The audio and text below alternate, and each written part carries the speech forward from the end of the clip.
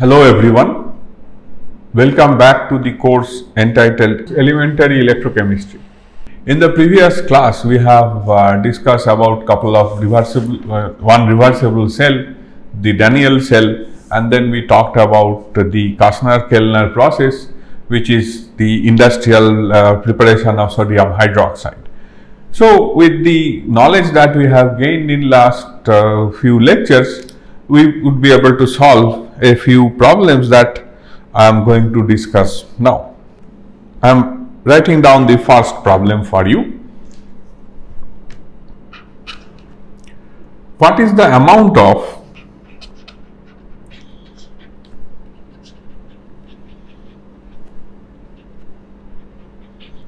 of copper deposited when a current of 200 ampere is passed through a solution of copper sulfate in water for 50 minutes.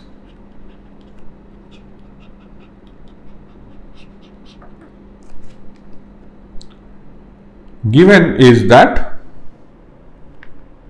the electrochemical equivalent Z for copper is 3.296 into 10 to the power minus 4 grams per coulomb. So, what we know from Faraday's uh, first law that W is equal to the electrochemical equivalent Z into the amount of electricity passed Q. So, in this particular case, it should be the ZCU and Q is nothing but the amount of current passed in amperes and time in second. So, we are having the value of Z 3.296 into 10 to the power minus 4 gram per coulomb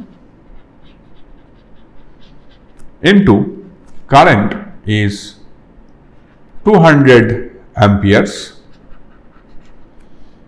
into 50 minutes which is nothing but 50 into 60 seconds. So, what I uh, want to uh, highlight or emphasize here is the writing of the correct units against the corresponding physical quantities.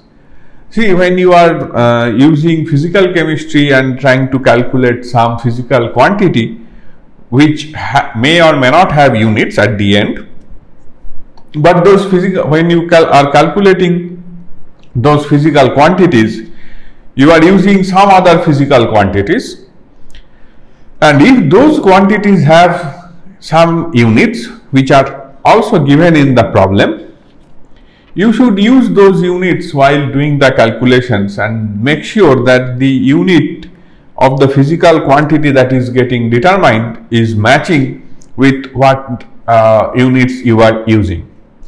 So, now when you do this simple uh, multiplication, you end up with a number 0.1978. The question is whether it is gram, kilogram, milligram, centigram, what is it?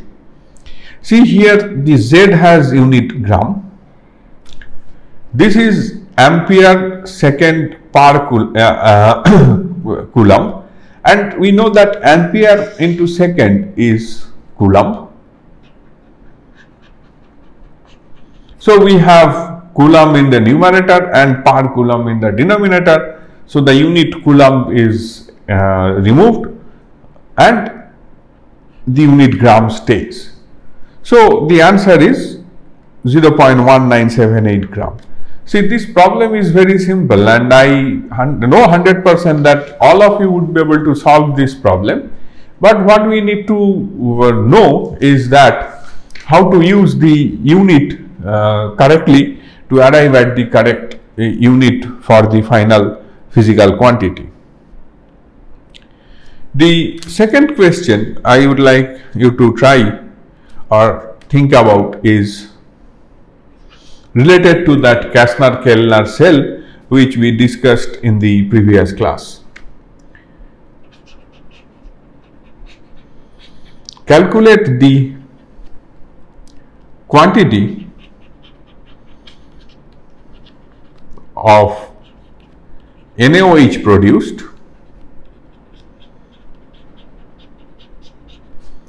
from a Castner-Kellner cell if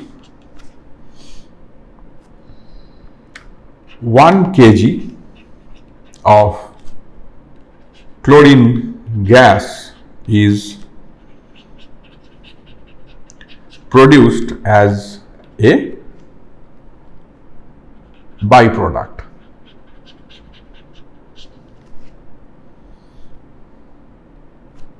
Also calculate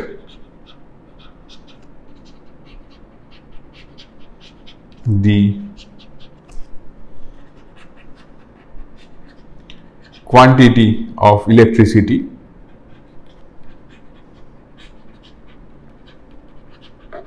that is required.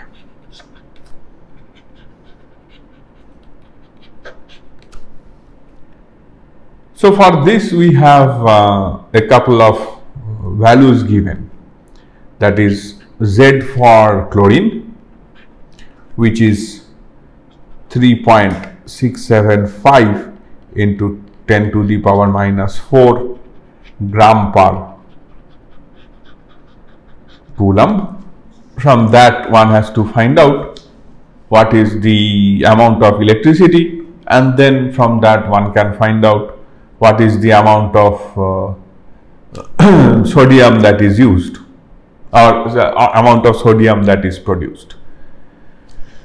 So, using uh, Faraday's laws of electrolysis, one can easily write WCl is equal to ZCl into Q that is the quantity of electricity produced, uh, electricity used and then Q is equal to nothing but WCl by ZCl. So, what is WCl weight of chlorine? It is 1 kg.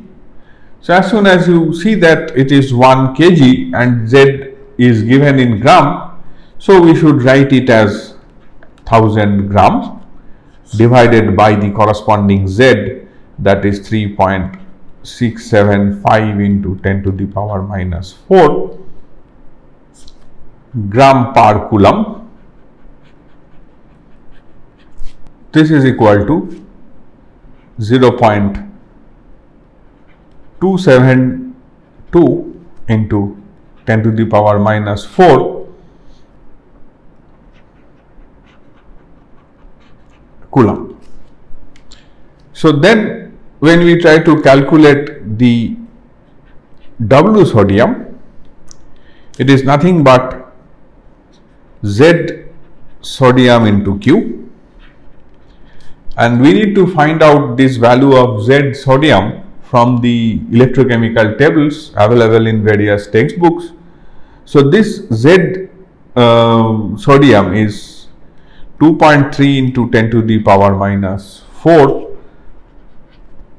gram per coulomb multiplied by 0.272 into 10 to the power minus. No sorry this is not 10 to the power minus 4 I think this is 10 to the power 7 coulombs. So when you do this uh, multiplication you will get the number as 0.625 into 10 cube gram which essentially means 0.625 kilograms of sodium that will be produced uh, when 1 kg of chlorine gas is produced at the anode chamber. Remember that there are two anode chambers, so this is the overall amount of chlorine gas produced at the two chambers. So now we know the molecular weight of NaOH is nothing but molar mass is 40 grams per mole. So 23 grams of sodium corresponds to 40 gram of NaOH.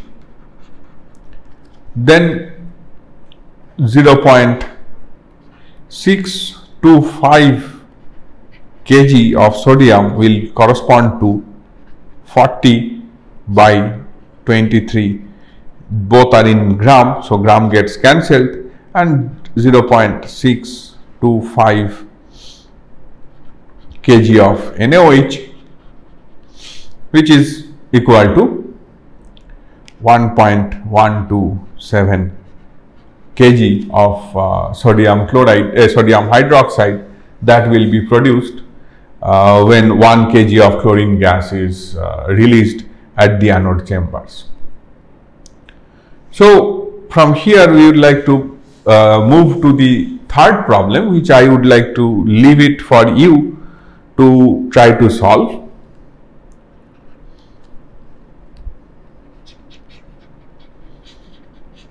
Calculate the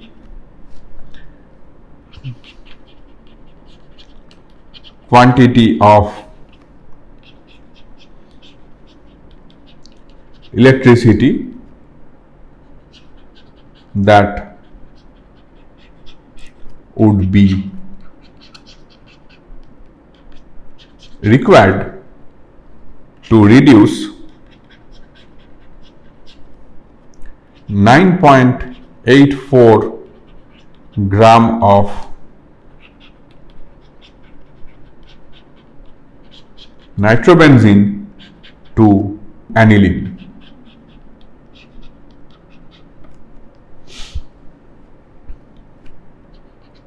And then find out if the voltage across the electrolytic cell is 2.5 volts then what amount of energy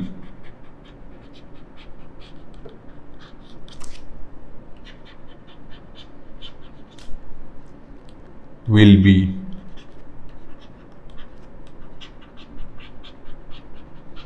consumed in the process right. So, just one hint that this is how one should think about.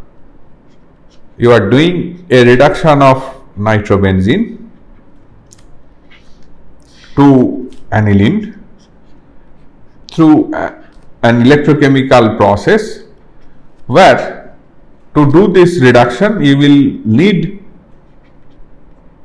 two units of hydrogen atoms so, one has to consider how to produce two units of hydrogen atoms by a, an electrochemical process. And then from that you can uh, consult the electrochemical standard textbooks where you will get some electrochemical equivalence if required. And from that you should be able to calculate the quantity of electricity that is in terms of coulomb and what is the energy that is in terms of watt? Okay? So at uh, i would like to stop uh, this lecture here and we will continue from here in the next class. Thank you